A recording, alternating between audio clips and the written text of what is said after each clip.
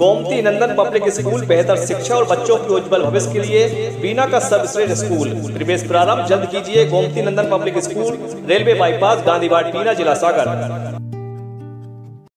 Khurai road, ग्राम बारधा के पास तेज रफ्तार car अनियंत्रित होकर पलटी। कार सवार दो लोगों को आई मामूली चोटें।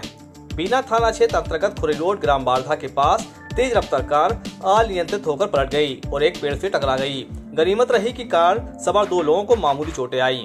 मिली जानकारी अनुसार बीना से सागर की ओर कार जा रही थी, तभी अचानक मोटरसाइकिल कार के सामने आ गई, जिसको बचाने के चक्कर में तेज रफ्तार कार सड़क से नीचे जा पलटी और एक पेड़ से टकरा गई।